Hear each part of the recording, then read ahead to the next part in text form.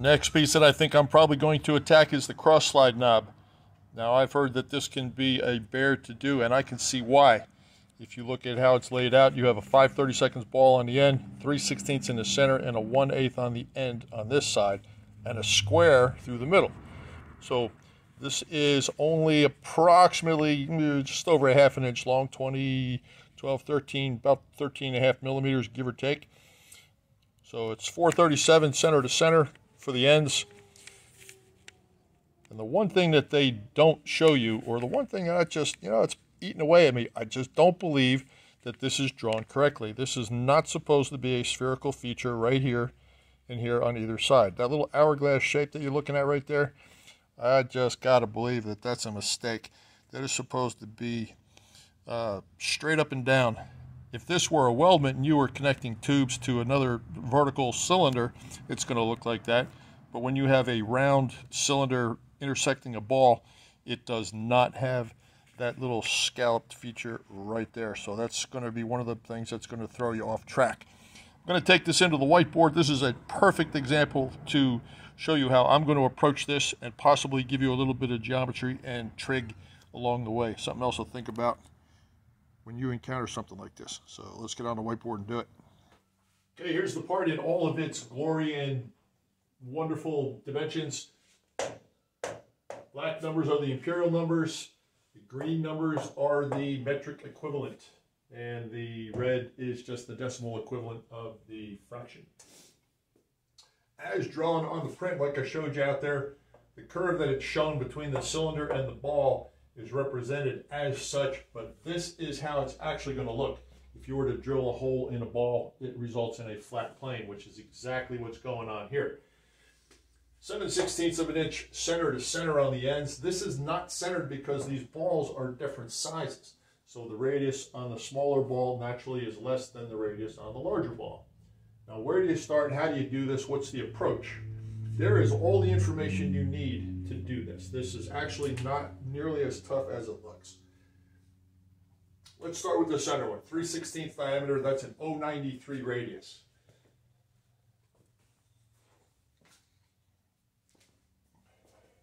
Knowing that, we know that there's a triangle right here. Actually, let's do it on this side. It's much better.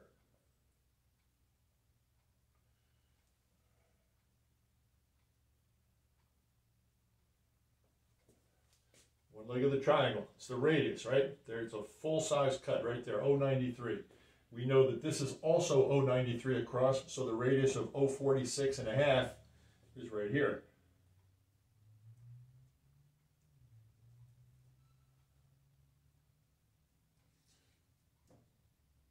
Once you have the hypotenuse and one leg, a squared plus b squared equals c squared kicks in, and you can calculate this leg all day long. Same thing on this one. Radius 078. It is a 530 seconds or 156 diameter. The 078 is right here.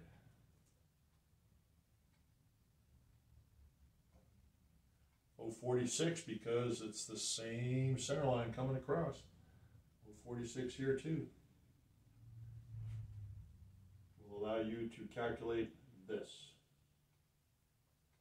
As soon as you have this one and this one, add them up, subtract them from this one, which is the center to center, and that will give you this.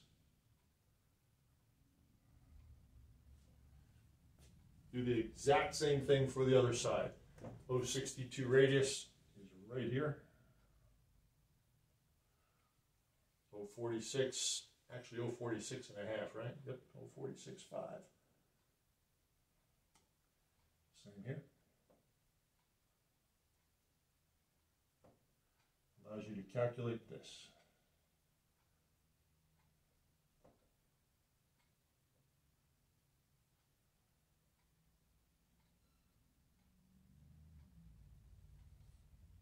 This will be the same, guys, but that's, I left that on there just to show you what it actually looks like. So this dimension will be exactly the same on either side. This dimension is called out as the same because 730 seconds is half of 7 sixteenths. You have all the stack that you need to do this Remember that when you cut a circle, you can use the radius of the circle as the hypotenuse to figure out the chord, and it works extremely well. When I do this part, I'm going to do this part. Once I calculate how big this cut is right here, I'm going to take a round piece of material. I'm going to put two undercuts in it, and I'm going to form the radiuses with the two undercuts already done. So here's my tool right there. I'm going to put one undercut there. I'm going to put one undercut here. And then I will shape the radius in on both. I'll show you a neat trick for holding this. When you are finishing this piece up, they expect you to put a 100 or 2.5 millimeter square hole right in the center. I've got a great trick for that. You're going to like it. I like it. There it is. Uh, I know the drawing is a whole lot bigger than the part. Actually, the entire part is about that long right there. That's about the real size of this part. So this, there's a lot going on. It's very small, but knowing how to cut the geometry out and figure out what you have, the mechanics behind it, you have all the information you need. Go get it. Let's grab a piece of material, start cutting. Okay, this is 3 16 diameter cold roll steel. We're going to make a three-point barbell out of that with a couple of undercuts. Going to do a little bit of radius work on it. There will be some filing here unless you have a grinder, a wheel dresser, and a lot of patience. We're just going to have to try to form this freehand. Going to stay connected to the raw stock. Going to take it over to the mill, pop a couple of holes in it, and then we're going to put a square in the center before we part that off. So let's do it.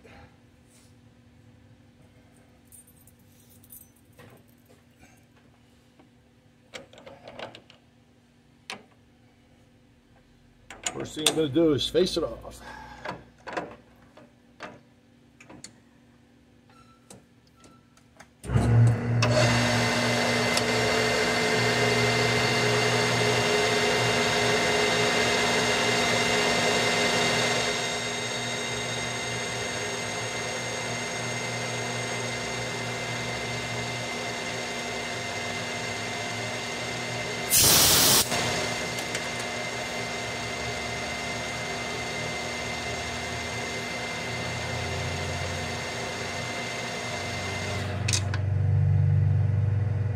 Sequentially, I'm going to go for a 125 diameter, a 187 diameter, and a 156 back here. The undercuts are going to be 93 thou each. This is really a small part. And I'm hoping that when I drill it and put the square in the center that it doesn't bend back here. I may forego the details in the back until after the square and the hole are put in there. So I'm going to start with just the front ball, the undercut, and the center diameter leave it at that.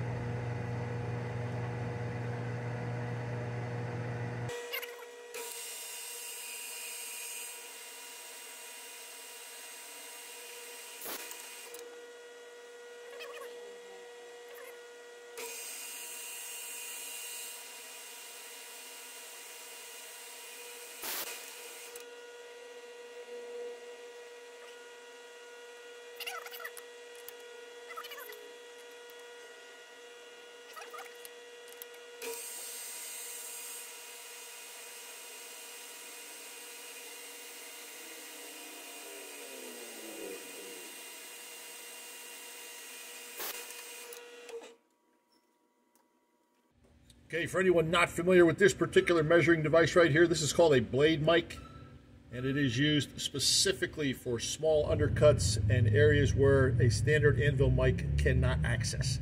O-ring grooves, piston ring grooves. And I'm looking for 093 on this cut right here. And you can see why this mic is just perfect for that.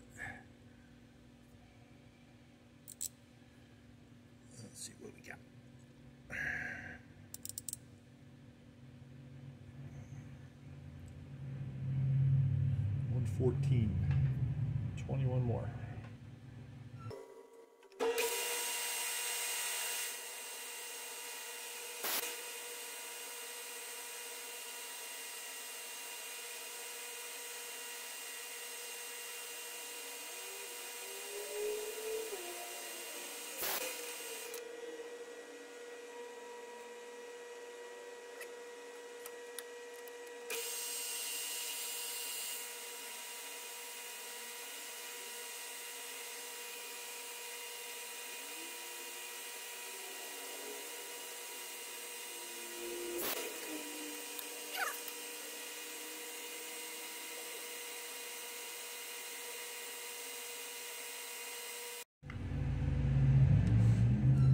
Unavoidably this part is so small, my hand will be getting in your way. I'm going to do the undercut right here. I'm going to finish forming the back of the 125 diameter in the front and the 330 seconds round right here. This ultimately has to be the same diameter as that, but the drilling and milling operations that are going to take place in these areas, I think this would compromise it and it would just make it too flexible under the pressure. So I'm going to leave this big for now. To expedite the process of these rounds, you might want to put some chamfers on there to remove the bulk of the material, then finish it with a file. When you get close, shine it up with some emery. Now I do trust the size of the material. It's not going to flex as much as I thought, so I'm going to finish that back diameter. And a 156 diameter in the rear.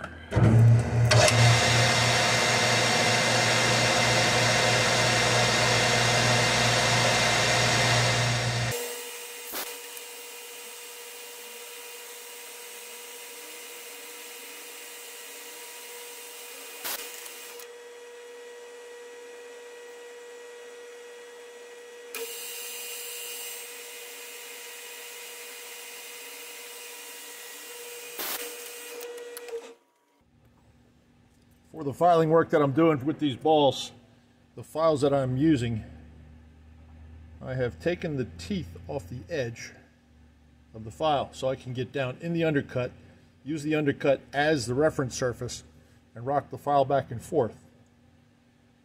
And you can see that the first file in line here has still got sharp edges. The side is dull, but the edges are still very sharp. The second one in line has been chamfered on the edge as well, get a reflection on it. And the third one is the same. So I'll use the second one. This one here is the better choice.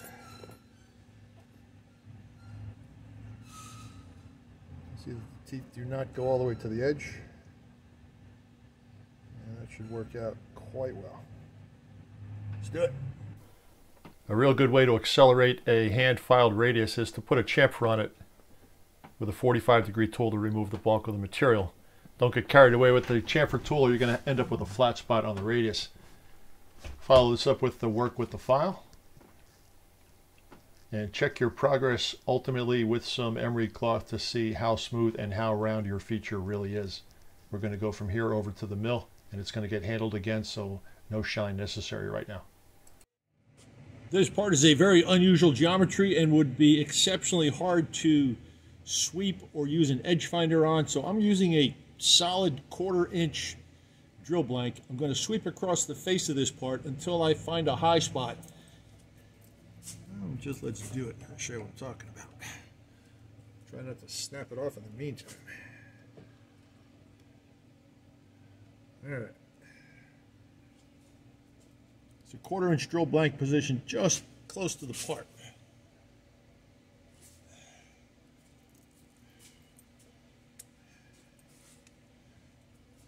Visually going to line it up and move it in just a hair.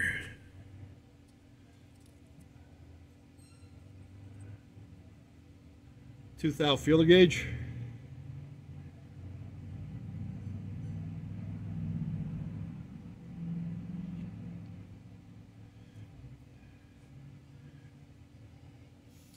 Zero out my digital. It is trapped.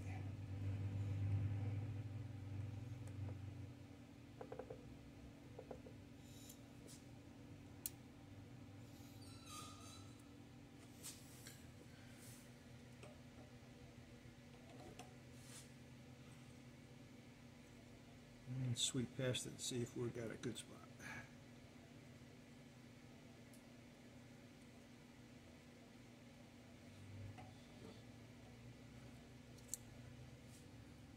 Let's get three up. Okay. Now going to move in half the pin, which is 125.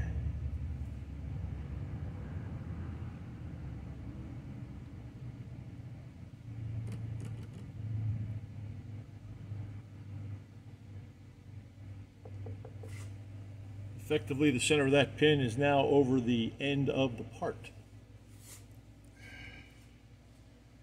We do the exact same thing with the ball itself.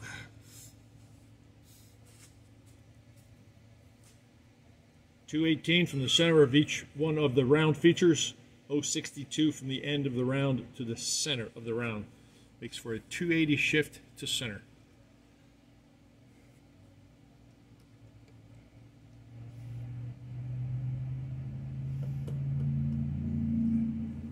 And re-zero.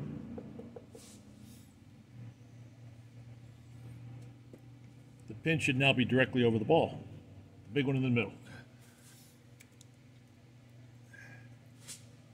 I think I like it. You could use an edge finder right now if you wanted to, if you can trust being on the high spot of that ball. I'm going to do the exact same thing with the feeler gauge and the pin. I trust it that much. Actually, let's go, yeah, I trust it this way. Forgive the camera angle here for a second, guys.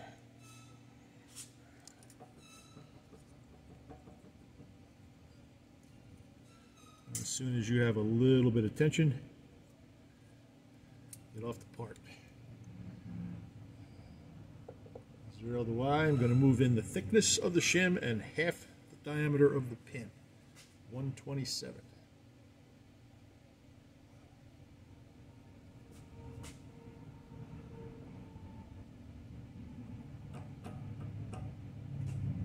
Puts the pin over the edge. Now whatever your diameter is here in the center, move in half of that. Looking for 093.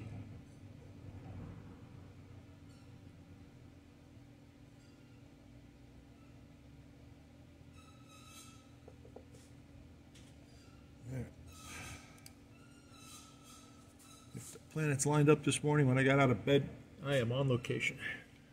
I'm going to call that my zero zero spot. We're going to put flats on either side of the center ball. And we're going to put a square hole in that. And I've been looking forward to that all day. This is where we put the flats on either side of the 187 diameter center feature on the crank. Print calls out for 1 8 side to side. And it is a 5C spin indexer, so that makes it relatively easy. If I had to make two of these, the next one I would do, and I'd have a flat on the small 1 8 ball on the end as well, even with the 093 undercut for cosmetics. I think that would work out much better when you add the brass handle to this component.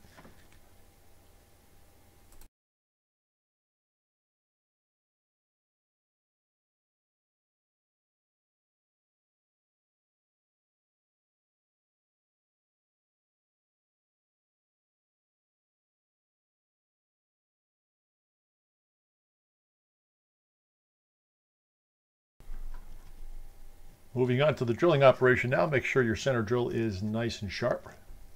And do be very delicate when you put the center spot, center drill in the end. You'll see some flex to this part.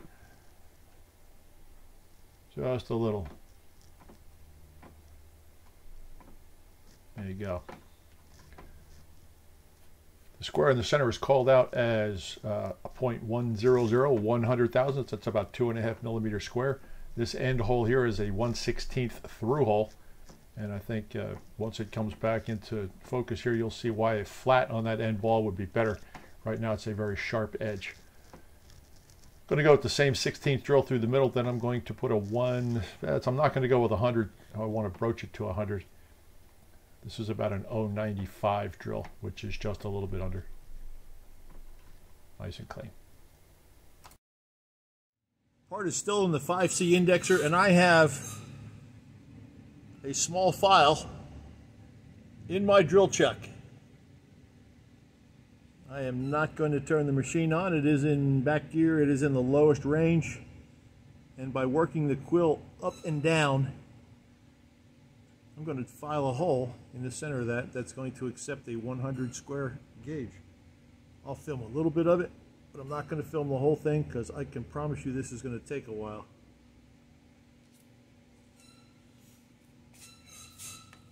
The file is bigger than the hole and the file is positioned at 45 degrees. So by applying pressure to the rear, to the front, left and right, I can adjust the size of the square accordingly. I'm going to be real delicate with this first couple of passes so I don't compromise anything.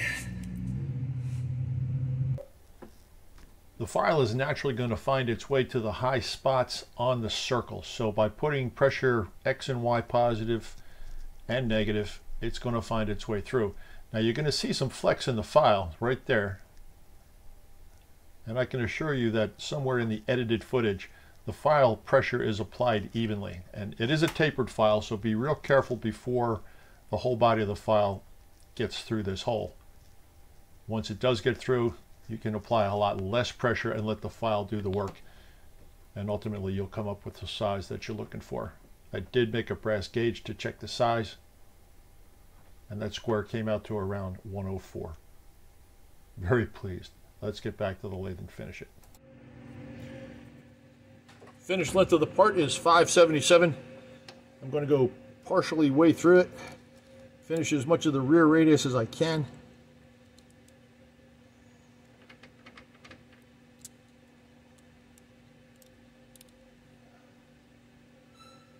Then cut it off.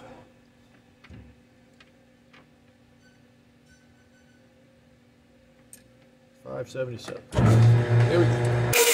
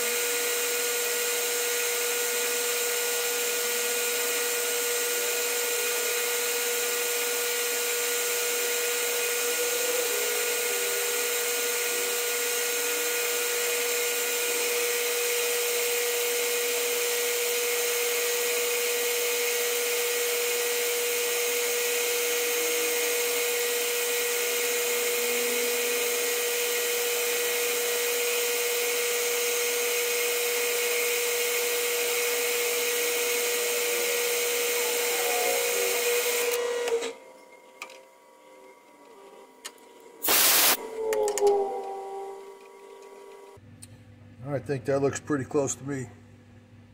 Let's part it the rest of the way off. Take care of that by hand. All goes well. This should fit in a 3 16 collet. Risky, but it should fit.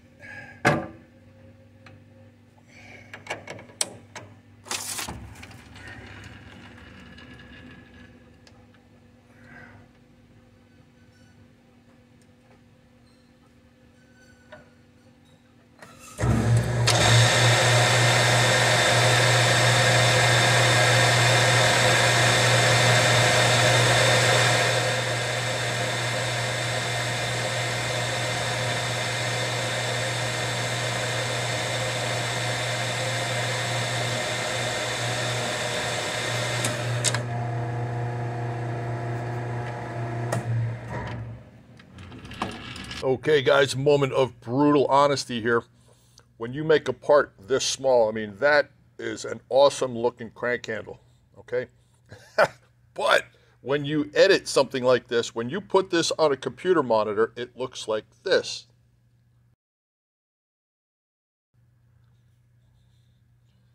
Needless to say, not acceptable. I am going to touch this up. I'm going to make a form tool real quick and it's really, it shouldn't be all that bad. Then I'm going to make a split bushing to hold this thing, and I'm going to make this shine like it's chrome plated because close enough on something like this just isn't good enough. It is tiny. I'm also going to throw one of these on it just for laughs. Let's see how fast we can get this done. I'm going to take a quarter inch high-speed square tool bit and I'm going to make a form tool to correct that little knob, this little guy here, because that ball under magnification is just not round enough. One in the center is good, the one on the end is good, but that 5 30 seconds radius on the end is just not cutting it this morning. Tip of the tool is blued. It's locked in here because it's just easier if you're going to do a form tool. Just you have a nice registration surface for the radius gauge. You can position it on the tool blank accordingly. I'm going to work from the toughest feature back. And that means I'm going to grind a nice radius on this and then I'm going to determine how deep it is at a later date. Right now the radius is the most important part. So I'm going to get in the way of the camera here for a second.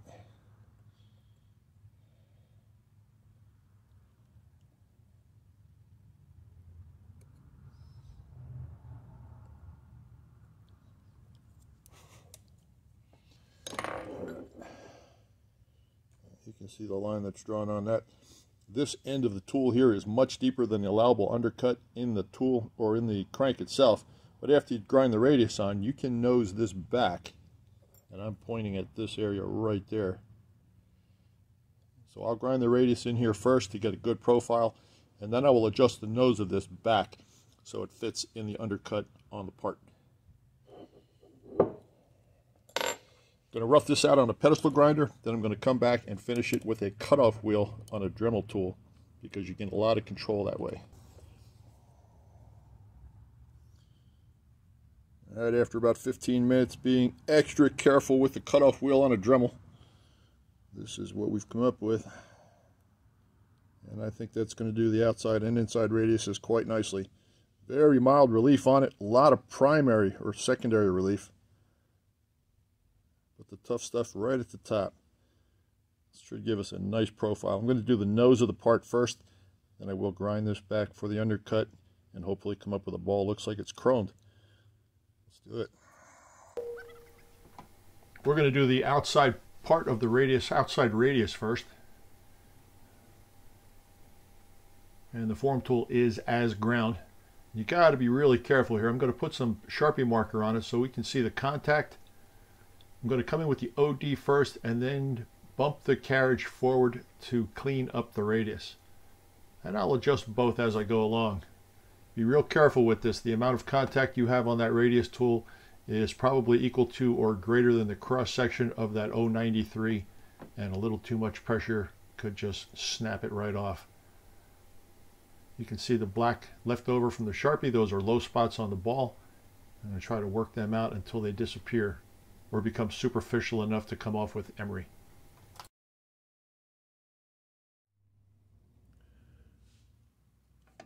Okay, after about 15 trips back and forth to the pedestal grinder and a whole lot of looking down through a jeweler's loupe, I think I got the tool ground to where I like it. I wish I could get an overhead shot, but I cannot. I'm coming in from the back of the ball on this side, so the tool is in the undercut. We'll see if we can make this thing look round.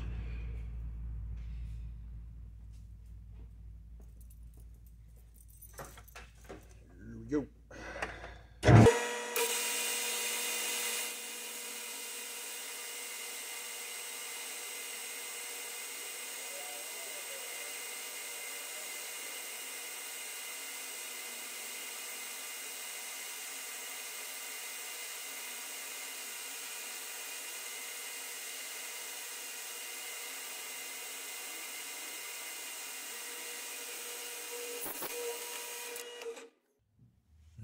Get overhead, see if I can get you a better shot of that. There it is. All right, there's a couple of bumps on it, but we are going to take a smooth file and round that off and polish that thing up like a trailer hitch. Nothing else will do. I'll be back. All right, little tip for you. When you are trying to bring something to a very bright shine and it may have radial scratches in it, hit it with a Sharpie marker. And as you file or use your sandpaper over top of the part, the low spots will be black stripes like you see here. Now that is incredibly superficial, but when it comes to a high shine, that will be a distortion in the reflection and it'll stick out like a sore thumb. So although this is incredibly small, Uh, devil's in the details, right? So I'm going to continue with this. I'm going to shine it up and show you what it looks like when it's done. But remember that tip. That's a good tip. Black Sharpie marker on the part as you file it or sand it or whatever. The low spots will continue to show up as black lines like you see here. And that is just unacceptable. With a little TLC and take your time, that's what you can achieve. You can still see some mild scratches in the 093 part of that. But as far as the reflectivity of that ball is concerned, I'm not complaining about that. That is a million times better than it was. That son of a gun is tiny. I'm going to spin this around and polish up the other side just because I can't have it looking like that. I'll make the brass crank for it. Damn, that's small. All right, no crank handle is complete without the actual handle part itself. This is brass, and this is one of those shape to fit. I like those kind of dimensions. shape to suit. Love it. So, eighth inch diameter brass. I am going to stick this in there, form this up by hand. And the first thing I'm going to do is uh, take a parting tool and make a witness boundary mark on it so I know basically where everything is so it's visually appealing. This should be relatively quick and I will back turn this. So the eighth inch material will be in the collet here. I will plunge this undercut and feed it out and then part it off. That way I don't have to worry about sticking it back in the machine after the fact because it's going to be pretty shiny when it drops off. Let's do it. First thing we're going to do here is face the front off as a reference surface. Going to bring the parting tool in and visually align the outside edge of the parting tool with the face, move it in the length of the handle itself. That's 375 or about 10 millimeters. Bringing in a large radius tool, working back and forth now to give myself the profile I'm looking for. And as I'm moving it back and forth, I am diving it in. Doing that reduces the chance that this part is going to come up and over that tool. I'll form the ball on the end with a file in the transition between the large radius and the major diameter of the material. That'll blend out with a piece of emery you'll see here in a second. So you get that, that elliptical bell looking shape on the end. This is one of those personal preference things as it develops. You machine it however suits your fancy. Now if you're going to have to make three of these and you want them all to look the same, well you might want to take some numbers. If you have a digital readout, that's easy to do. Just pay attention to the digital, pay attention to the dials.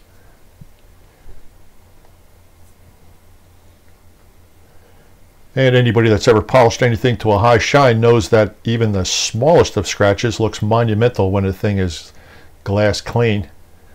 And one of the other frustrations is chasing a scratch that's actually a reflection from some feature on the machine. I've learned that the hard way several times. Move it out, make sure there's no polishing compound on the collet and come in and back turn the small diameter that's going to fit down inside the steel component of the handle assembly. Pay attention to the outside component. I am looking at a jeweler's, looking through a jeweler's loupe right now. As this diameter gets smaller, the only way to check it is with a blade mic, so that's what that was just there. As this diameter gets smaller, the sheer mass of the end of this part, although it is tiny, will have a tendency to want to whip. So if that starts to happen, be careful about how much surface contact you have or how high the RPM is. If that happens, you'll get a taper in this feature and it will be smaller towards the outside of the part and bigger towards the collet.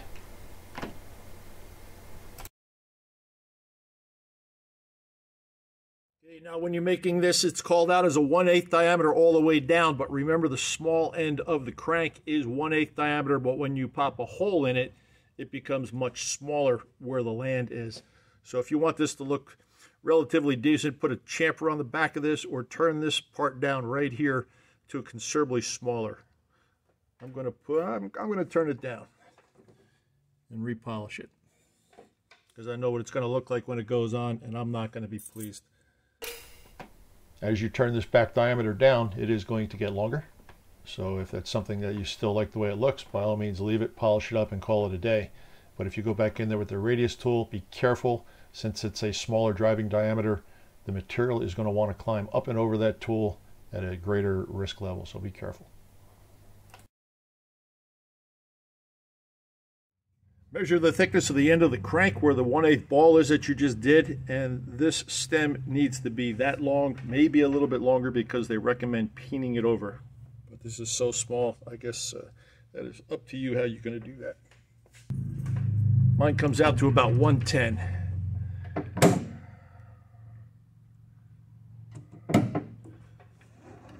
I will register the parting tool on the inside of the large diameter, move it down 110, part it off.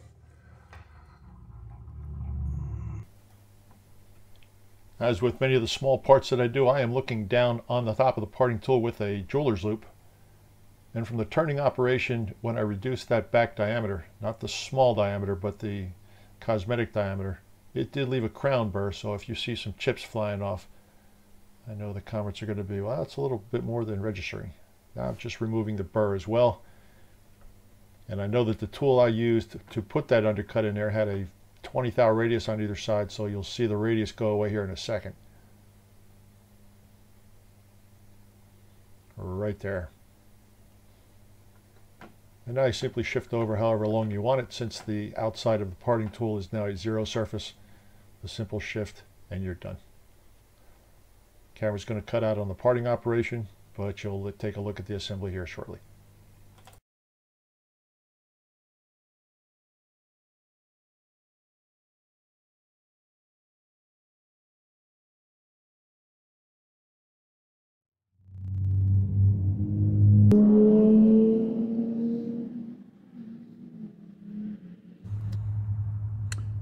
Well, I hope you enjoyed watching that as much as I enjoyed doing it. I only have to make uh, two more of these handles, not the steel part.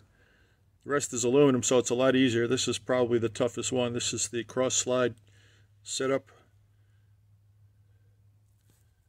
But two more of the brass sections out on the end. You know, if I get real cocky, I think I might just uh, figure out how to make that swivel so your hand doesn't get a blister when you crank it. anyway, thanks for watching, guys. Hang in there till next time. Stay healthy. Joe Pie at, Advanced Innovations in Austin, Texas. I'm out.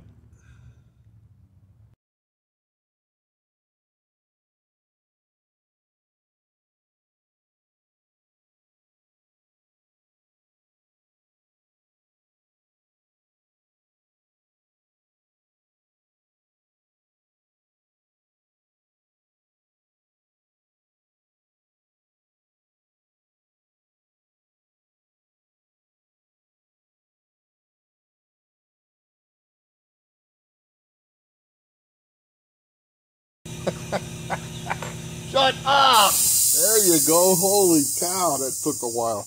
All right, we're back.